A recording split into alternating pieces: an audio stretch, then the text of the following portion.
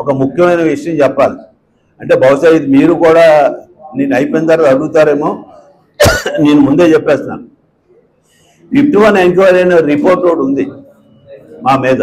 నా మీద ఎప్పుడు కూడా ఎవరు ఏం చెప్పినా ఆయన ఫిఫ్టీ వన్ ఎంక్వైరీలో ఉన్నాడు. దాంట్లో బ్యాంక్లో ఏదో ఫ్రాడ్ జరిగిందని ఏదో చెప్తుంటారు. కానీ ఒకే పేపరు ప్రతిరోజు మా బ్యాంకు యొక్క ఫోటో వేయడం నా ఫోటో వేయడం. దాన్నే అలా తిప్పి తిప్పి తిప్పి తిప్పి ఈ ఫిఫ్టీ వన్ ఎంక్వైరీ ఉందని చెప్తుంటారు. ఆ ఫిఫ్టీ వన్ ఎంక్వైరీ ఏంటంటే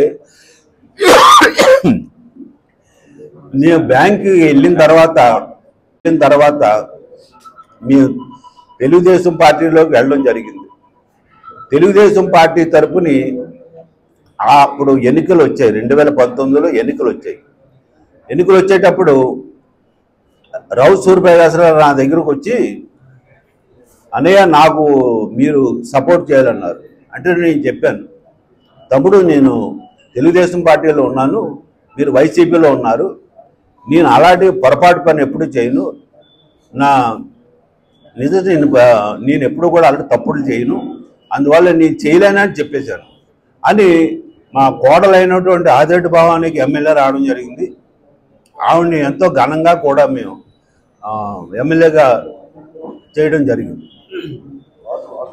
దాన్ని దృష్టిలో పెట్టుకొని నా మీద కక్ష సాధింపు చర్య చేసి ఆయన ఎమ్మెల్యే అయిన తర్వాత ఈ కమిషనర్ గారికి దానికి సంబంధించిన అందరినీ కూడా రోజు ఒక- ఒక ఎంక్వైరీని పెట్టి ఆయన మీద ఏదో ఒక ఎంక్వైరీ రాసేయండి. ఏదో ఒక అభద్రవతా భావంతో ఆయన అది అది దొబ్బేడు ఇది దొబ్బేడు అని చేసేయండి.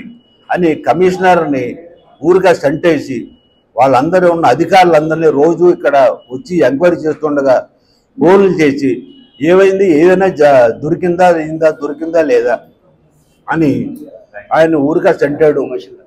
వాళ్ళు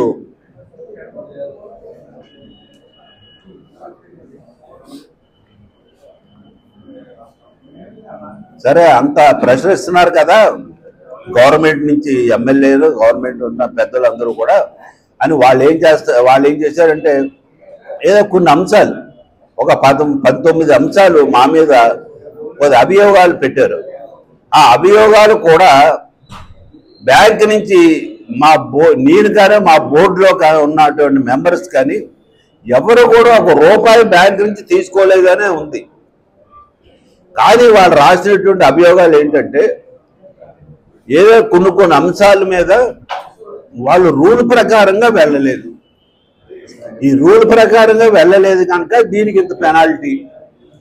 దీనికి బాధ్యులైనటువంటి చైర్మన్కి ఇంత సిఇఓకి ఇంత డైరెక్టర్కి ఇంత అని అలాగ పెనాల్టీలు వేశారే తప్ప నేను కానీ అప్పుడు ఉన్నటువంటి బోర్డులో ఉన్న మెంబర్స్ కానీ బ్యాంక్ నుంచి ఒక్క రూపాయి కూడా ఎక్కడ తీసుకున్నట్టు ఆ ఫిఫ్టీ వన్ ఎంక్వైరీలో లేదు. అందువల్ల ఏంటంటే నేను చెప్పేది ఏంటంటే వాళ్ళు ఏ కొన్ని పెనాల్టీలు వేశారు. అంటే రూల్ ప్రకారంగా వెళ్ళలేదంటే ఈ రూల్ ప్రకారం రూల్స్ ఏ ఉన్నాయో చెప్పవలసిన బాధ్యత చీఫ్ ఎగ్జిక్యూటివ్ ఆఫీసర్ సిఇఓ గారిది. అప్పుడు ఉన్నటువంటి సుబ్రహ్మణ్యం గారిది. ఆయన మాకు ఏ విధంగా చెప్పేవాడు కాదు మేము కాకుండా పరిస్థితులు బట్టి బ్రాంచ్లు ఏమో పెట్టేస్తున్నాం. ఎంప్లాయ్మెంట్ రావాలి. ఎంత ఎన్నిసార్లు అడిగినా కూడా కమిషనర్ గారి నుంచి మాకు రిప్లై వచ్చేది కాదు. అందువల్ల మేమే అభిప్రాయం తీసుకొని వేసాం దానికి ఒక పెనాల్టీ అలాగే రకరకాలు. అన్నీ కూడా పెనాల్టీల కింద వేసారే తప్ప పిప్టౌన్ ఎంక్వైరీలో ఏ విధంగా లేదు.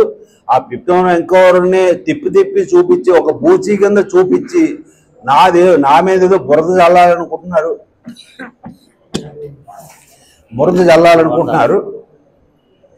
అది ఏమీ కూడా నేను నిరూపించుకోవడానికి ఇందులో ఏ విధమైన తప్పు లేదని నిరూపించుకోవడానికి నేను కోర్టు దగ్గర నుంచి స్టే తేవడం జరిగింది.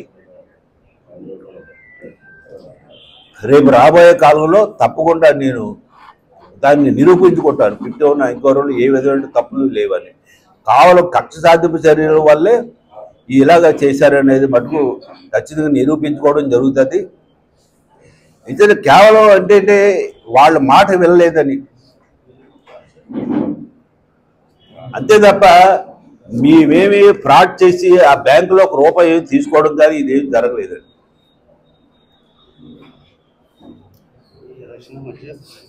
ఇప్పుడు ఏమండి ఈ ఐదు సంవ- ఇప్పుడు ఇది చెప్పాను మేము ఫిఫ్టీ వన్ ఎంక్వైరీ గురించి. మేము దిగిపోయిన తర్వాత అండి ఐదు సంవత్సరాలు అక్కడ రాష్ట్రం ఎలా అయితే సర్వనాశనం అయిపోయిందో మా బ్యాంకు కూడా అలాగే సర్వనాశనం అయిపోయిందండి. ఇప్పుడు మాట్లాడితే ప్రతి ఆరు సంవత్సర ఆరు నెలలకి ఎవరో ఒకరిని తీసుకొచ్చి చైర్మన్గా పెట్టడం వాళ్ళకి అనుభవం ఉండేది కాదు అవగాహన ఉండేది కాదు. కొంతమంది మెంబర్స్ని కూడా ప్యానల్ని పెట్టారు. ఆ ప్యానల్ వాళ్ళు ఈ బ్యాంకుని అభివృద్ధి చెందే విషయంలో లేకుండా రకరకాలుగా ఈ బ్యాంక్ నుంచి మనం ఏ రకంగా దీన్ని ఆర్థికంగా సంపాదించవచ్చు అనే ఉద్దేశంలోనే ఉన్నారే తప్ప వాళ్ళ వల్లే ఈ బ్యాంక్ శాఖలోకి వెళ్ళిపోయిందండి. అక్కడ రాష్ట్ర రాష్ట్రం ఎలాగైతే నాశనం అయిపోయిందో ఆల్టర్నేటివ్ ఆ బ్యాంక్ కూడా అలాగే నాశనం అయిపోయింది. ఇప్పుడు అదే పార్టీలో ఉన్నటువంటి పెద్దలందరూ కూడా బ్యాంక్ని మనం కాపాడుకోవాలంటున్నారు ఏంటి కాపాడేది? ఐదు సంవత్సరాలు మీరు ఏమీ చేయలేకపోయారు. ఎక్కడ దాన్ని ఎక్కడ అధోగతి పాలు చేశారు. ఇప్పుడు మళ్ళీ ఇంకేం చేసేస్తారు మీరు? ఇది వాళ్ళని సూటుగా నేను అడుగుతున్నాను. అందు గురించి ఏంటంటే నా నేను నాతో పాటు ఉన్నటువంటి పది మెంబర్ని మా ప్యానల్ అందరినీ కూడా ఆర్యపురం కోఆపరేటివ్ బ్యాంకు కస్టమర్ ఖాతాదారులు అందరూ యొక్క అందరినీ కూడా మా మనవి మీ రేపు ఇరవై తారీఖుని మీ యొక్క ఓటుని మా అందరి మా ప్యానల్కి వేసి అఖండ విజయం చేకూర్చాల్సిందిగా కోరుకుంటున్నాను. అందరికి నమస్కారం.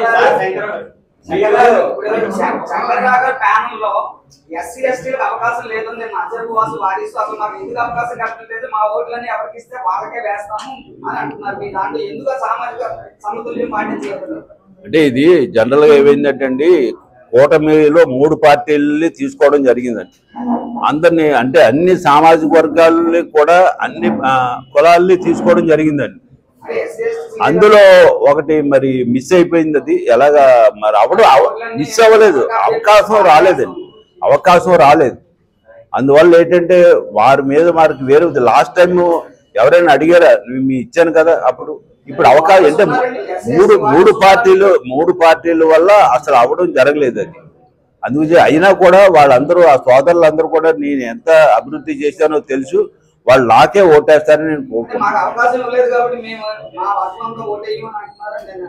అలా ఉండదండి. ఇచ్చేదంటే బ్యాంకుకి అభివృద్ధికి ఎవరైతే చేస్తారని దృష్టిలో పెట్టుకొని చేస్తారు తప్ప ఒక కులానికి ఒక మతానికి ఇదిగా ఉండరండి. అని నా ఉద్దేశం. ఏంటి? లాస్ట్ టైం ముళ్ళమాధవ్ ఉన్నాడు అండి అతను అసలు అడగలేదు నేనే కలి తీసుకున్నాను ముళ్ళమాధవ్ అలా ఏం లేదు ఇప్పుడు ఏంటంటే మూడు పార్టీలు అయిపోయాయి. ఆ మూడు పార్టీల వల్ల అడ్జస్ట్ చేయడం ఎందుకు మీకు ఎందుకు వచ్చాను ఉదాహరణ చెప్తాను. నాకెంతో నా కూడా ఉండి నాకు ఎంత అభిమానం ఉన్నటువంటి మన సూరపూడి శ్రీగారిని కూడా నేను దాంట్లో విమర్శలేకపోయాను నేను. అంటే అక్కడ వ్యవహారం అలా వచ్చేసింది. అంటే నాయకులు ఎక్కువ మూడు పార్టీలు నాయకులు మాదేయాలి మాదే ఏంటంటే అప్పటికి ఇంకా అలా కుదించవలసి వచ్చింది అంతే. అంతకంటే వేరే ఇంకా ఏం కాదు. గారు మీ పరిధిలో అభివృద్ధి జరిగింది మేమే చేసాం బ్రాంచ్లు పెట్టాం అభివృద్ధి నడిపించాం ఏ గ్రేడ్ తీసుకొచ్చాం? కానీ అవినీతి జరిగిందని ఆరోపణలు వచ్చేసరికి సీఈఓ గారు రూల్స్ పాటించలేదని అధికారుల మీద పెట్టే విధంగా మాట్లాడుతున్నారు. అంటే అభివృద్ధిలో వాళ్ళ పాత్ర లేదంటారా? మీరేనంటారా కమిటీదేనంటారా పూర్తిగానండి. ఎంచేదంటే అభివృద్ధి చేయటానికి కావలసినటువంటి రెజల్యూషన్స్ అన్నీ కూడా బోర్డులోనే చేయాలండి. ఏదైనా ఒక ఐటమ్ ఉంది ఇవాళ ఈ బిల్డింగ్ కట్టాలి. అది మేము చర్చించుకొని బోర్డు మెంబర్సే దాన్ని ఆ రిజల్ట్స్ పాస్ చేస్తే దాన్ని ఇంప్లిమెంట్ చేసే అధిక అవకాశం దాన్ని సిఇఓ ఉంటుంది. మిగతా ఉన్నటువంటి అందులో పనిచేస్తున్న వాళ్ళందరూ కూడా ఆఫీసర్స్ వీళ్ళందరూ కూడా వాళ్ళు బ్యాంక్ పనులే చూసుకుంటారు ఇది.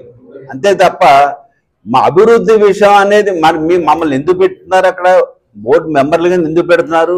బ్యాంకును అభివృద్ధి చేయడానికి ఈ బ్రాంచ్లు పెట్టండి అని కానీ బిల్డింగ్లు కట్టండి కానీ స్థలాలు కొనండి అని కానీ లేకపోతే రకరకాలుగా ఇవన్నీ కూడా వాళ్ళు ఏం కాదండి. మా సొంత నిర్ణయం ఇది. మా బోర్డులో నిర్ణయించుకొని మా పన్నెండు మంది కూడా నిర్ణయించు ఇది చేస్తే చాలా బాగుంటుంది. ఇది విశాఖపట్నంలో బ్రాంచ్ పెడితే బాగుంటుంది భీవరంలో పెడితే బాగుంటుంది. మాలో మేము అనుకొని స్పీడ్గా గబగబా ర్యాపిడ్ స్పీడ్లో ఆ బ్యాంక్ని ఎక్కడికో తీసుకెళ్ళిపోయాం. మేము ఉండేట మీ మేము ఉండేటప్పుడు బి గ్రేడ్ ఉన్నది ఏ గ్రేడ్గా తీసుకెళ్ళారు. మరలా ఇప్పుడు సి గ్రేడ్కి తీసుకెళ్ళిపోయారు. అందువల్ల ఆ శాపలో వచ్చింది. అధికారులకి మేము చెప్పిన పని చేయడం తప్ప అధికారులకి మేము చేయించింది చేయాలే తప్ప వాళ్ళకి మిగతా అంశాల్లో వాళ్ళకి ఏ ఉండదండి. వాళ్ళకి మొత్తం అంతా కూడా అది క్రెడిట్ అంతా కూడా అప్పుడు ఉండే బోర్డుదేనండి క్రెడిట్ అంతా. ఒక ఒక అగ్ర ఆంధ్ర రాష్ట్రంలో ఒక అగ్రగామిగా తీసుకెళ్ళడం జరిగింది ఆ చేస్తారు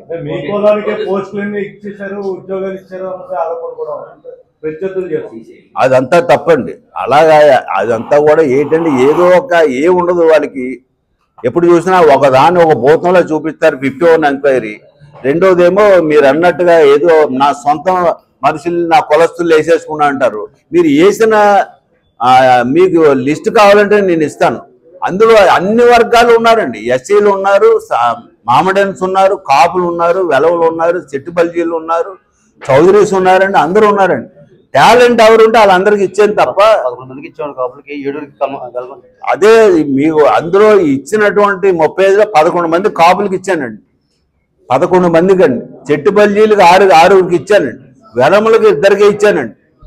ఇవ్వడం అంటే నేను ఇవ్వడం కాదు వాళ్ళ టాలెంట్ ఉంది అది చౌదరీస్కి ఇచ్చానండి. ఎస్సీలకి ఇద్దరికి ఇచ్చానండి. మామిడన్స్కి ఇద్దరికి ఇచ్చానండి.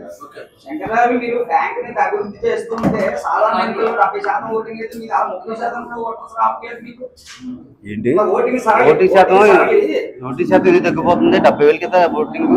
ఇరవై వేలు పది వేలు వస్తుంది కదా ఓట్లు అంత తక్కువ ఎందుకు వస్తాయి అంటున్నారు. ఓటింగ్ శాతం అండి. డెబ్బై వేలు కదా ఓటింగ్. ఆ ఓటింగ్ శాతం ఆయన పేరేం పేరు? రాజుగారు. ఆ? శాతం ఎందుకు పెరిగిపోతుంది ఈ ఐదు సంవత్సరాల్లో తగ్గిపోయారండి జనం.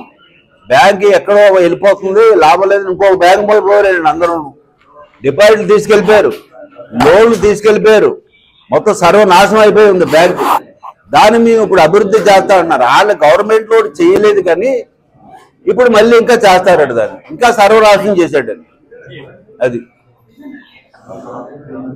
ఇంకా ఏమైనా ఉంటే ప్రధానంగా మీరు అంటే ఎక్కిన తర్వాత ఫస్ట్ ప్రయారిటీ జరిగిస్తారు మనం నెగ్గిన తర్వాత ఫస్ట్ ప్రయారిటీ దేనికి ఇస్తామని అడుగుతారండి టాప్ ప్రయారిటీ ఎన్పిఏ అండి. అది రికవరీ ఎన్పిఏ కానీ చెయ్యకపోతే ముందు శాప్ అనే దాన్ని బయటకు రాదండి. ఒక సంవత్సరం పాటు చాలా కష్టపడాలి. వెళ్ళనంటే ఫస్ట్ ఆ దాన్ని బయటికి తీసుకొచ్చి డివి అందరికి ఉన్న కస్టమర్లందరికీ డివిడెండ్ ఇవ్వగలిగిన రోజునే నేను దానికి చైర్మన్గా అటెండ్ అవుతాను. లేకపోతే అవ్వలేనండి. అందుకు ఫస్ట్ టాప్ ప్రయారిటీ దానికి ఫస్ట్ ఇయర్ అంతా కూడా దాని మీద టాప్ ప్రయారిటీ.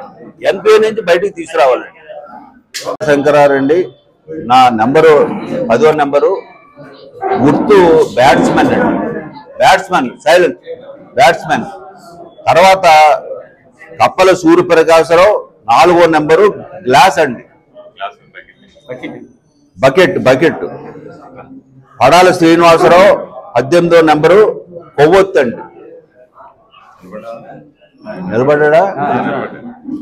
పిల్లి శ్యామ్ గారు పంతొమ్మిది క్యారెట్. పోలక్ పరమేశ్ ఇరవై రెండు దువ్విన. గుడ్డికి రవికొండరారు ఇరవై నాలుగు. కప్పు సాసరు ముదిగా శ్రీనివాసు ఇరవై ఏడు. దీపం స్తంభం ఎర్రమోదు ధర్మరాజు గారు ఇరవై ఎనిమిది. గౌను. యాళ్ళ వెంకటరావు ఇరవై తొమ్మిది. పాన్నం.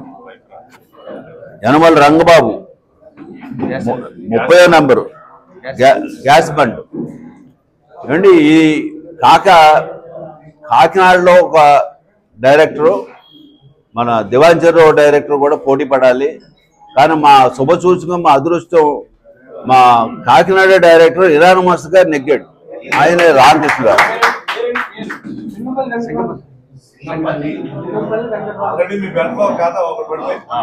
ఆల్రెడీ ఒక బెల్ట్ నెగ్గారండి ఇంకా పదకొండు మందికి అవ్వాలి. అందు గురించి మీడియా సోదరులందరికీ కూడా నా నమస్కారం ఏంటంటే తప్పకుండా మా యొక్క ప్యానల్ని మీరు కూడా సపోర్ట్ చేసి అఖండ విజయాన్ని చేకూర్చవలసిందిగా కోరుకుంటున్నాను.